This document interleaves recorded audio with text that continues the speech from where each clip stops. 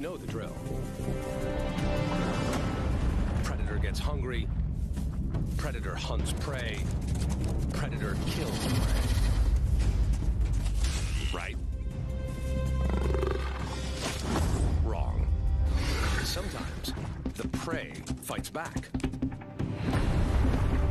Team members get confused. Major screw-ups abound. But the hunter who pays attention to all the disasters survives. Six predators with amazing weapons show us what it really takes to make the ultimate kill.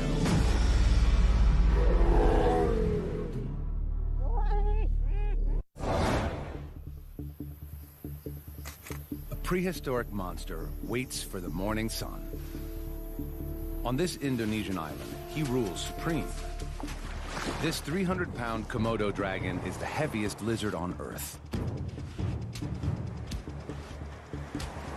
He's a 10-footer, equipped with 3-inch claws and a phenomenal sense of smell.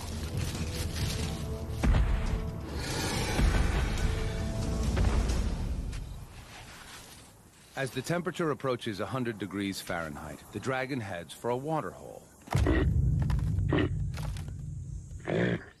This is where Rusa deer quench their thirst. The deer notice him watching them.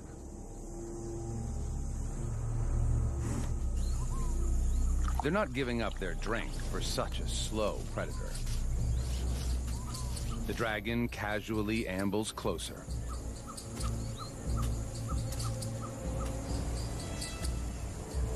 He waits.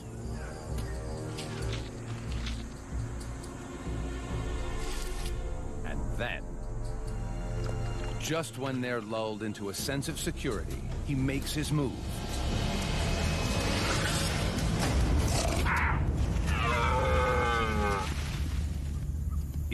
A fail. Deer are fast. They're gone. What went wrong?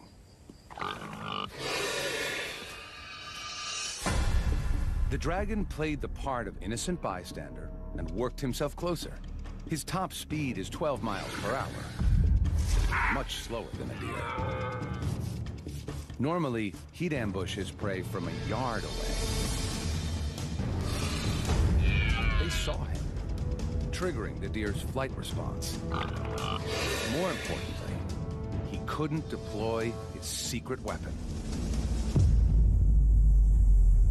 He changes up his strategy.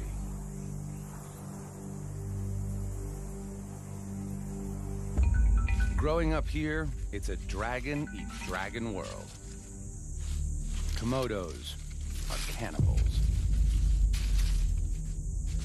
Especially of the young and innocent.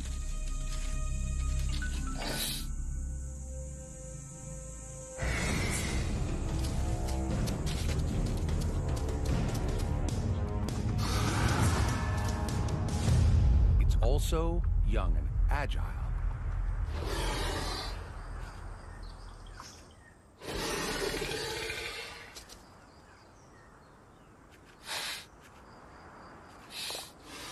Out of reach, the adult waits patiently.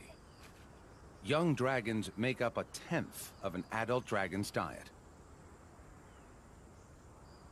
The youngster senses that this is his only safe spot.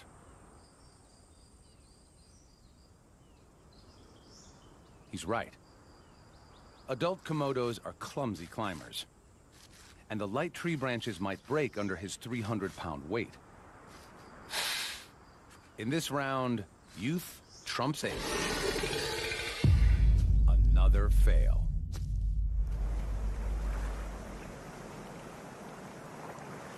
The hungry stomach of the Komodo grumbles for a new strategy.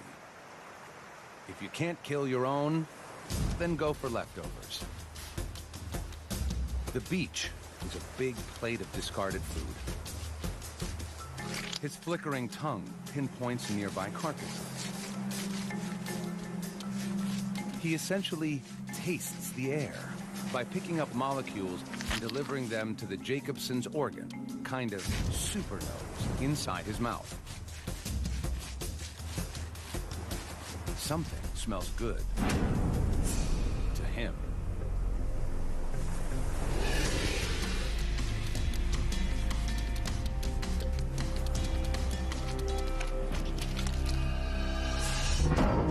Several movable jaw joints let him expand his mouth wide enough to vacuum the fish down whole, bones and all.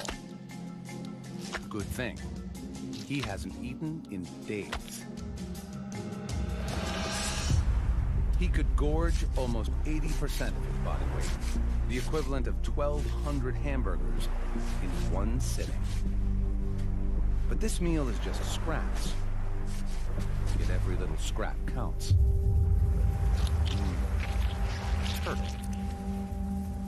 But another dragon is already dining on the prize. Now to steal what little is left. A little intimidation, and our opportunist dives in head first. The smaller dragon stands by and watches the curious show.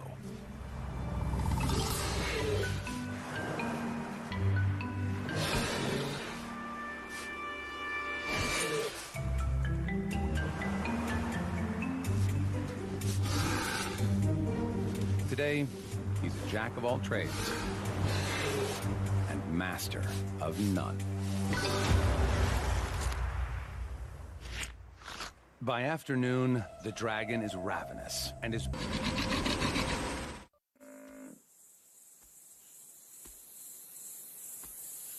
It's playing out as the dragon anticipated, even though he's nowhere near the buffalo. He has an invisible weapon. Venom. His bites released a unique lizard venom into the buffalo's bloodstream. The venom's compounds are as potent as those of the world's deadliest snake and will soon send the buffalo into shock. With a bite force of almost 60 pounds per square inch, the dragon's 60 serrated teeth inflict a gaping wound. And with the thrust of his muscular neck, deliver the toxic cocktail one inch deep into the buffalo's flesh. Now he follows and waits. With favorable winds, he can pinpoint his prey's exact location, over six miles away. As the venom courses through the buffalo's body, stops the buffalo's deep wound from healing. Its blood pressure drops, and it weakens.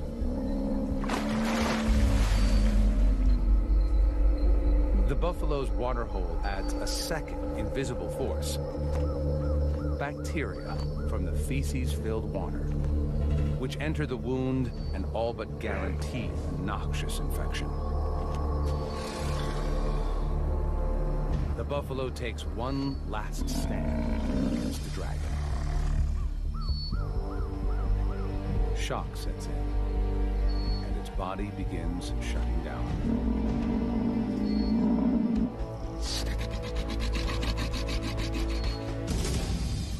It's dinner time.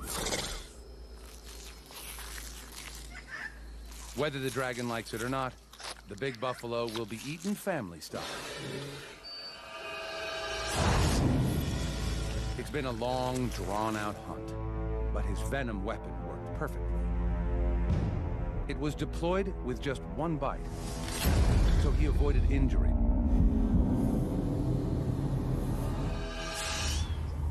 Imagine a predator so strong it could outbite a lion, a tiger, and a bear.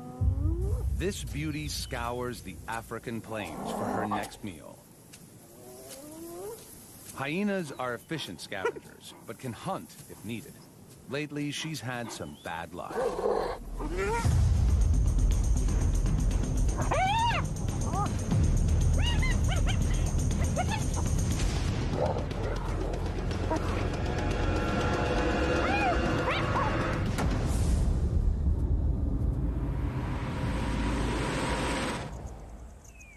Her cubs need her protein-rich milk, she can't produce it if she doesn't eat. She needs food, and she needs it now. She detects a faint whiff of carrion and heads in that direction. She can smell meat from over a mile away. Across the plains, lions have killed. They're feasting on a wildebeest, and she'd love a part of it. Other hyenas have the same idea. But there's no hospitality here. These lions weigh twice as much as her. Pushing in is risky. Lions kill hyenas regularly. Just last month, her mother tried to steal a meal from two lions.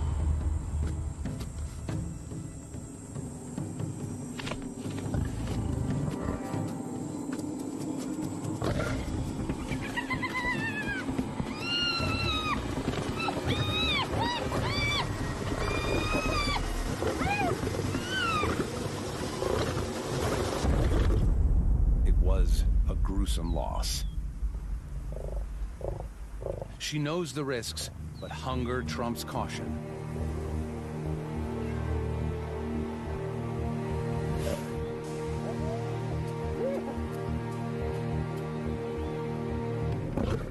These lions will defend their kill at all costs.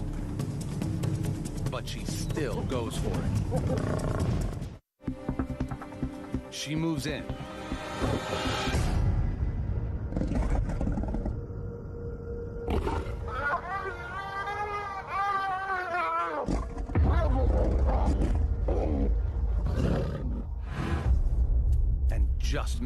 To escape.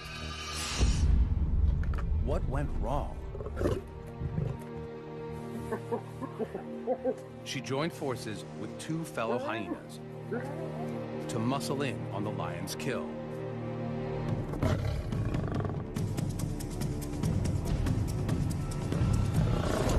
To get it right, the clan needed four hyenas to every lion. But without reinforcements, the three lions were just too strong, and the plan backfired. There's no point wasting any more energy here. When the stealing gets tough, the tough go hunting. Especially when all over the plains, deliciousness abounds.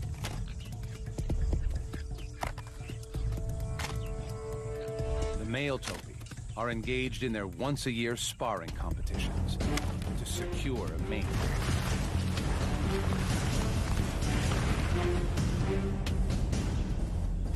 And some are just plain exhausted. She watches them closely. Her strategy? Hit them when they're down. She sneaks up close, hoping to go unnoticed.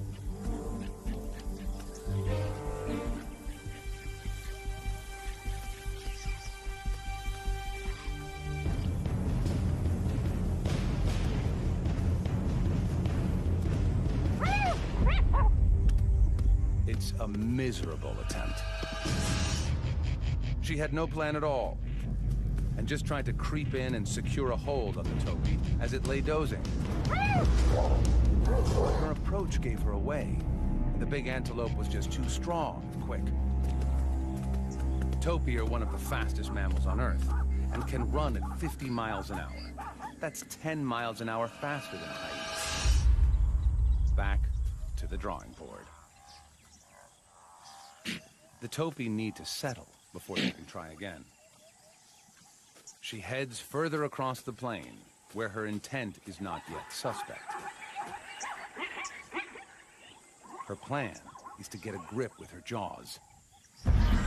Hyenas have the strongest bite in the mammal kingdom and exert up to a thousand pounds of pressure. If she can get a hold of any part of the topi, her huge jaw and powerful neck muscles, normally designed to lift heavy prey, will enable her to hang on. Bingo. Another target.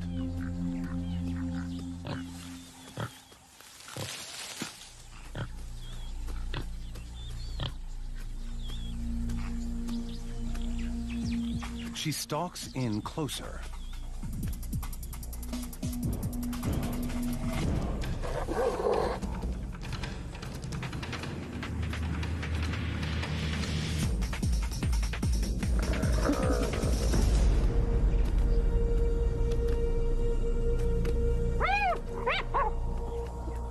She loses her prey.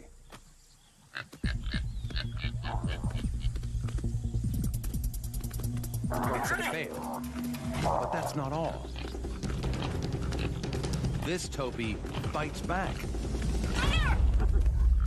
Double fail. What went wrong?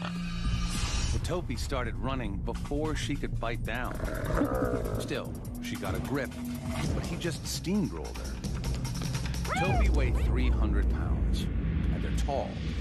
She weighs 150 pounds. Her only real weapon is her strong mouth. The force of the prey's weight outperformed the force of the predator's jaw. Then, the hunted turned the tables on the hunter and attacked. The topi's 15-inch horns could have caused serious damage. If she'd been hurt, her hunting would be over. To bring down one of these topi, she's going to need support. There's no shortage of help in a hyena clan. It's run by the dominant females, and is like an all-girl gang.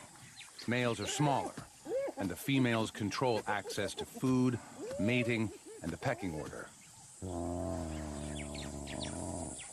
She gathers a hunting party and heads back. Now she has some firepower. Even Grandma is in the mix.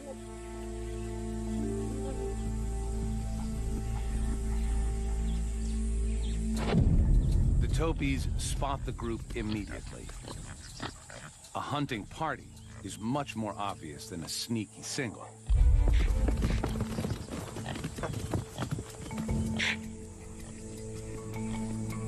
Soon enough, they go back to grazing. And dozing.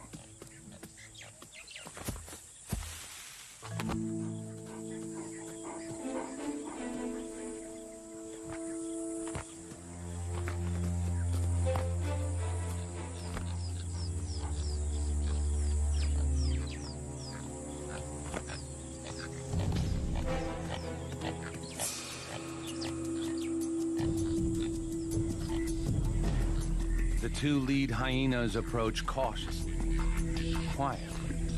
The sleepy topi is oblivious.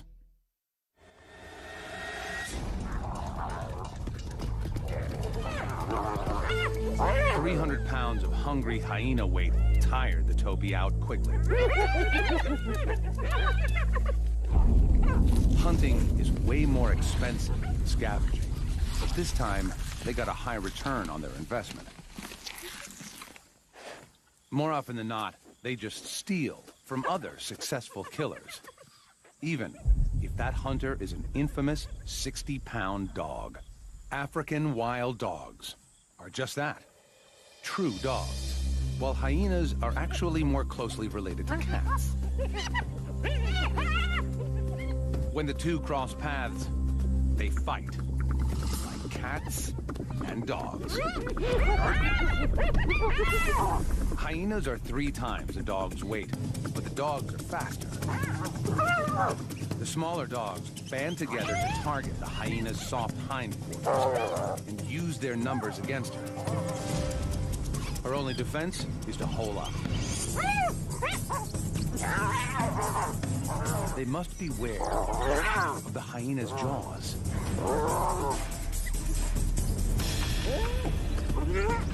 The hyena stays put until the dogs lose interest. The dog pack is run by the alpha male and female. Their pups are just six weeks old. The pack must hunt daily if they're to feed this high-energy brood. Mom and Dad rally the troops. The alpha male relies on his sharp hearing to locate prey. Today, he hears Impala.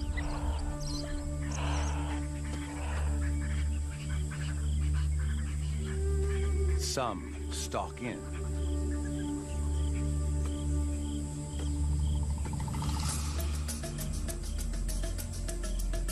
Others fan out to attack the herd from all angles.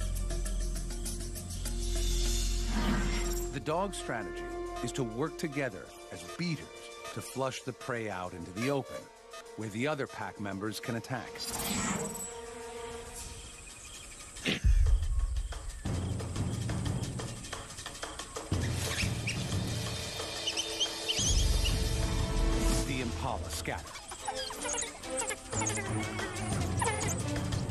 Their tactic is to zigzag their way through the bush, but the dog pack encircle the herd.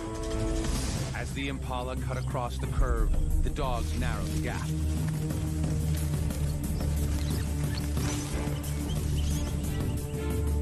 Wild dogs have the stamina to maintain a speed of 35 miles per hour for three miles. So it's a long chase.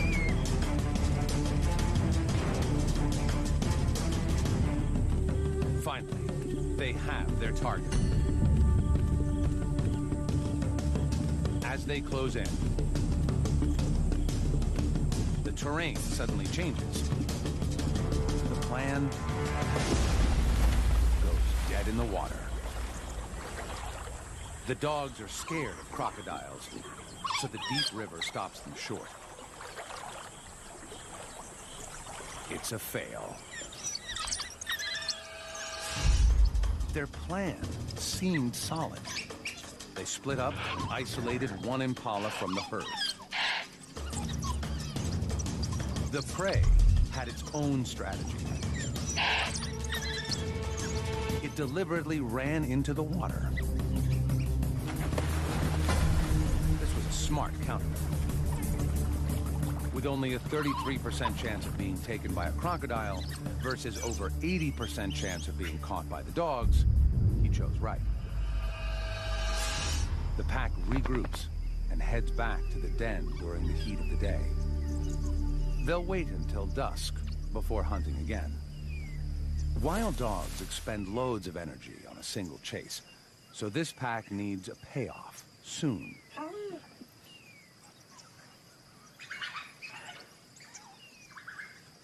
High-pitched twittering conveys their excitement and rallies the pack. It's time to hunt again. The alpha male takes the lead. Impala, again.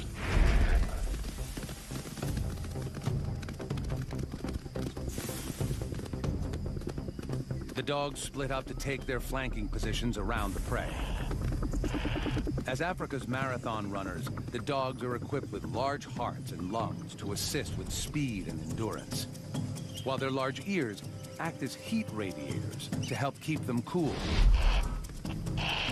The dogs hunt in relay, taking turns to run down the impala until it's exhausted.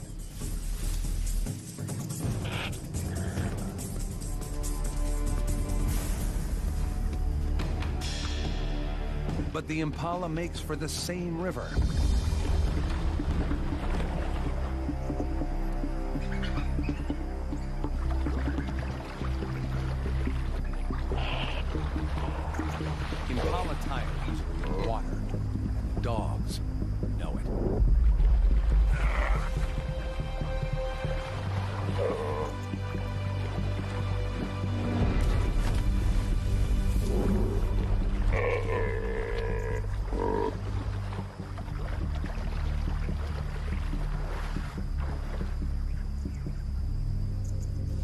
this time. The dogs crossed downstream.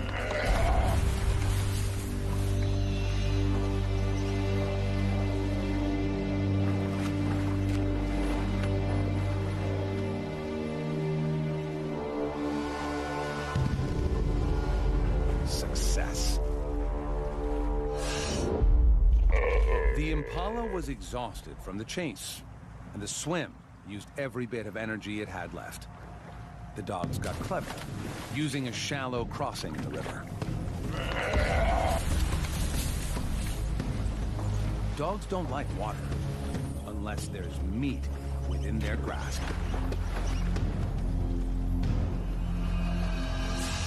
Like the hyena, they disembowel their prey. But here, there's no hierarchy. Every dog has a spot at the table. They'll consume the impala in less than 10 minutes. But they aren't the most ruthless predators out there. The bald eagle fell in the sky for possession of the prey. He snatches it back. What happens next is truly extraordinary. Our hunter desperately clutches his prey.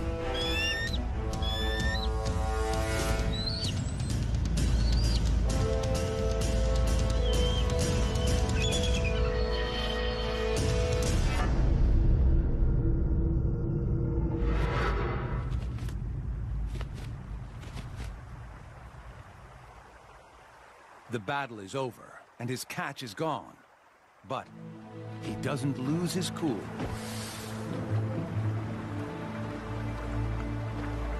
He may not be an expert fighter, but he's a good hunter.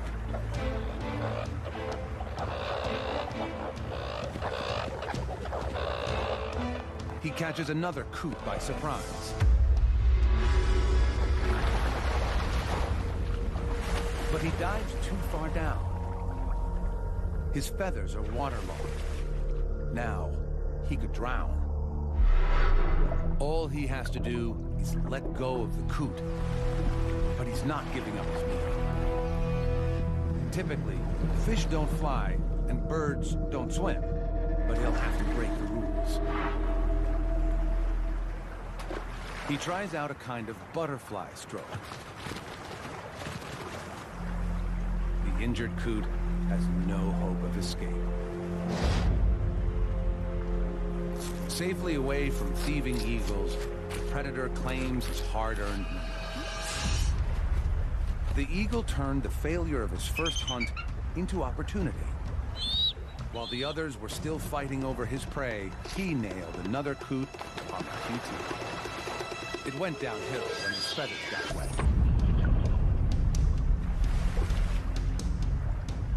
The eagle weighs 14 pounds, and a little water, along with a two-pound coot, meant he had to get to land quick, risk hypothermia and drowning. He innovated and started paddling, prey in tow. The talons possess 10 times the grasping strength of a human hand. He turned three fails into immediate success. A real triumph.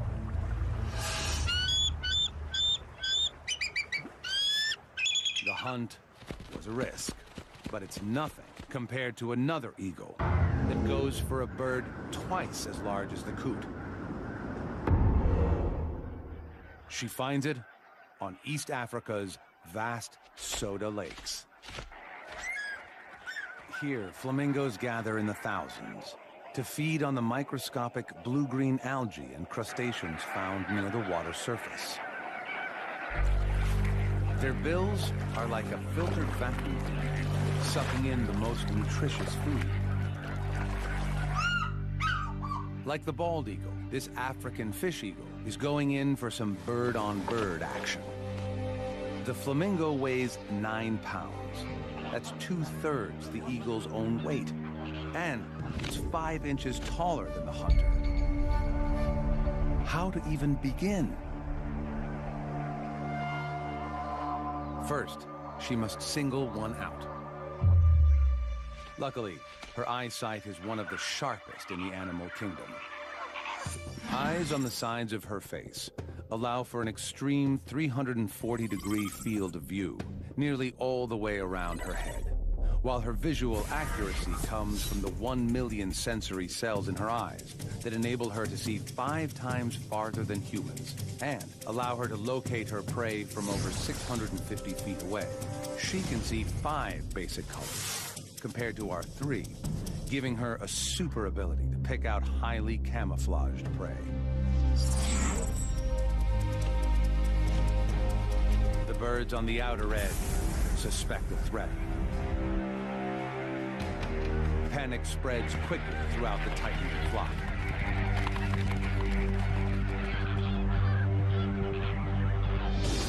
The eagle scans for any sign of weakness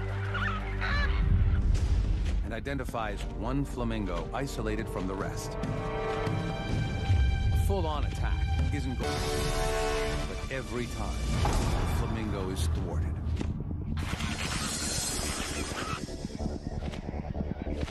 The flamingo is losing energy fast. Now, the eagle gears up for her final mastery move.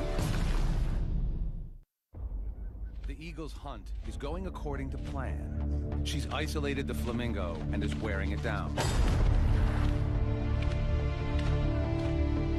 Now, to collect her reward. But it's too heavy. You can't go up, try going down. She pushes the flamingo underwater, hoping to subdue it. Now, to get it to shore. But suddenly, she aborts the operation.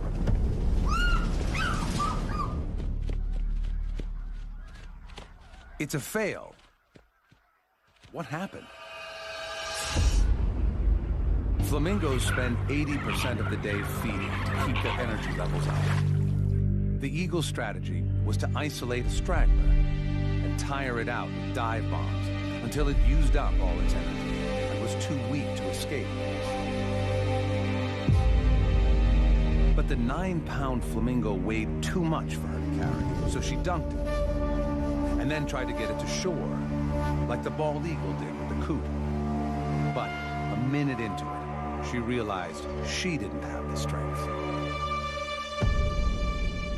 Sometimes you have to know when to quit.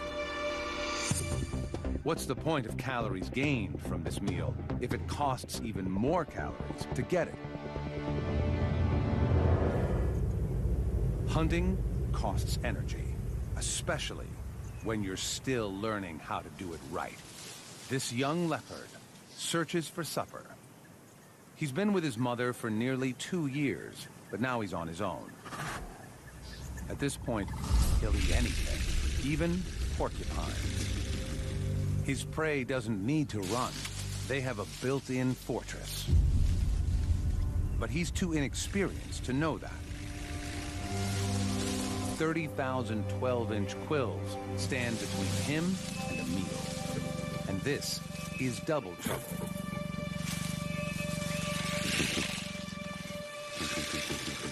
He knows they're vulnerable from beneath, but he can't figure out how to get there. He has the right idea, but his execution is far from perfect. The quills can lead to septic wounds that can be fatal. The leopard tests the limits, unsure of how to proceed.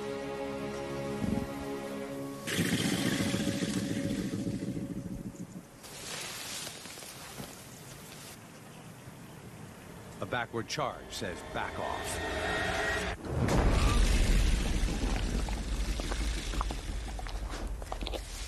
One zero to the porcupine.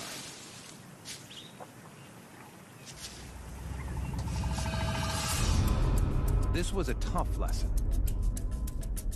He knew what he had to do. Flip one porcupine over to inflict a lethal bite. But he was just too inexperienced in his attack. The porcupine stuck together, making it harder for him. In the end, he was lucky to escape with a sore paw. He could have paid with a long and painful death. Unable to run with his hurt paw, he tries a completely different strategy. He can't sprint, but he can jump. The plains are full of impala. A leopard's coat is perfect for treetop camouflage.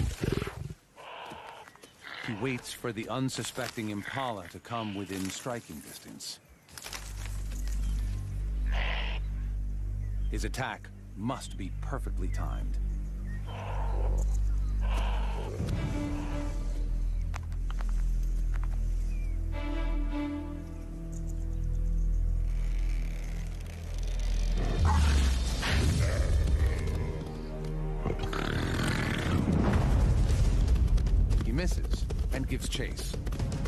Leopards can normally reach 35 miles an hour, but he has a quill in his paw.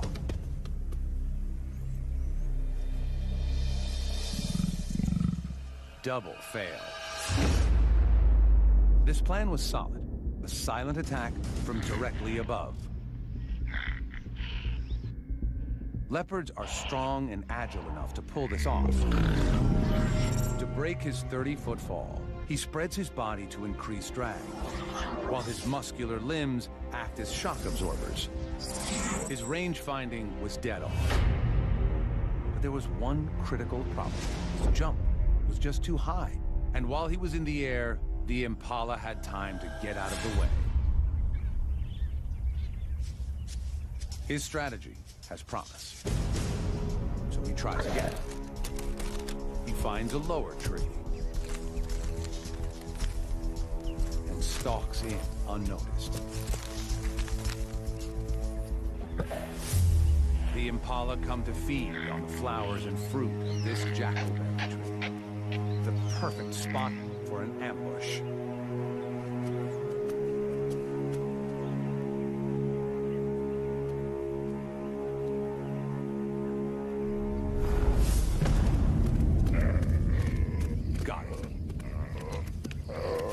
Unlike wild dogs and hyenas, he kills by strangulation. His secret to success was a lower jump, and he spread his body to cover a larger area. A leopard uses all four sets of claws to immobilize prey. The impala wasn't going anywhere. This success was forged